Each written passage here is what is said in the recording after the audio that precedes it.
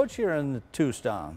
It could be. After leading the Arizona Wildcat baseball team to two appearances in the College World Series in the last five years, it is no secret that Coach Jay Johnson has become a hot commodity. We first told you about Louisiana State's interest in Coach Jay Johnson, and now we're learning the coaching search for the SEC school has been narrowed down to three choices. Multiple outlets are reporting Jay Johnson is being considered along with East Carolina coach Cliff Godwin and Notre Dame skipper Link Jarrett. Johnson apparently interviewed with LSU on Tuesday.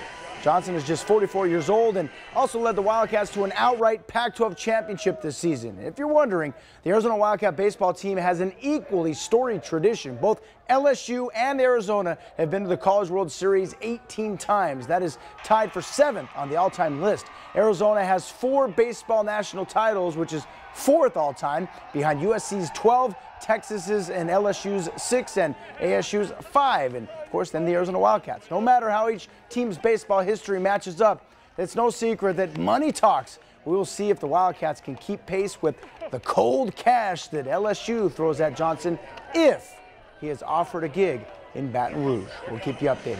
All right, in a day game, the Arizona Diamondbacks hosted Milwaukee. Let's head 90 minutes north to downtown Phoenix into the top of the seventh, and Avisail Garcia will knock in Luis Urias and extend the lead to 3-0 into the next inning with the Brewers leading 3-1, and Arizona's Eduardo Escobar says, AB, see ya.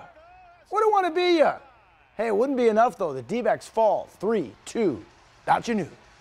All right, moving on, the Tokyo Olympics are less than a month away and can be seen right here on KVOA with opening ceremonies beginning on July 23rd. And one Tucsonan that knows plenty about the sport of gymnastics is Yoichi Tomita. He is the co-owner of Gymnastics World right here in Tucson. Yoichi has also competed with his native country of Japan and has served as an Olympic coach for Team USA. And get this, this weekend, the proud Tucsonan will be inducted into the USA Gymnastics Hall of Fame on Saturday, smack dab in the middle of the Olympic trials in St. Louis. He's also scheduled to leave for the Olympics around July 15th to Japan. Here's some file with Yoichi when I talked to him about the tremendous pride he has for being a part of Team USA, especially being able to be in Tokyo in Japan for the country, the country that he was born and raised in. I was really looking forward to uh, help USA team in Japan, my native country. I know the ins and ropes in this country, so in Japan, so I was going to help a great deal about this uh, Olympic effort. I'm really honored and uh, at the same time, uh, gratitude and appreciation for everyone who helped me through the last 45 years in the United States.